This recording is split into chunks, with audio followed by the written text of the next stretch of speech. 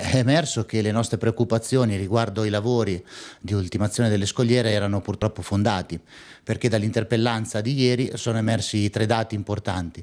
Il primo è che ad oggi non è stato appaltato il lavoro di progettazione definitiva dei, dei lavori non sono stati messi a bilancio i 200.000 euro richiesti dal Comune per cofinanziare l'opera e forse peggio ancora non è stato nemmeno richiesto formalmente alla Regione di darci una mano e quindi spendere gli altri 800.000 euro per completare le, le scogliere. Che cosa chiedete come Lega Fano? Ma di fronte a un problema del genere non ne facciamo assolutamente una questione partitica.